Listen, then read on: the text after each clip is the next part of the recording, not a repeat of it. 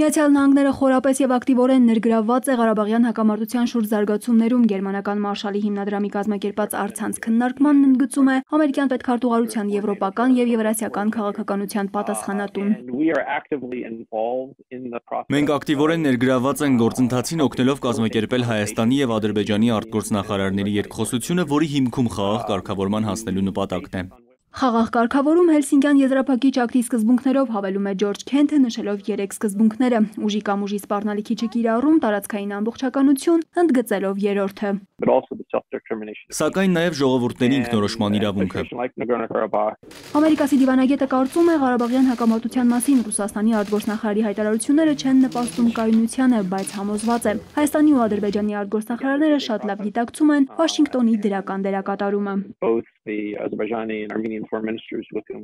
Թե Ադրբեջանի եւ թե Հայաստանի արտգործնախարարները շատ լավ գիտակցում են այն դրական դերը, որը Միացյալ Նահանգները խաղում է օգնելով շարունակել երկխոսությունը։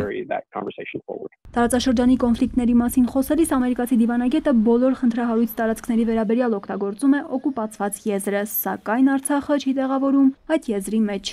Անի Ավետյան ժամը լրատվական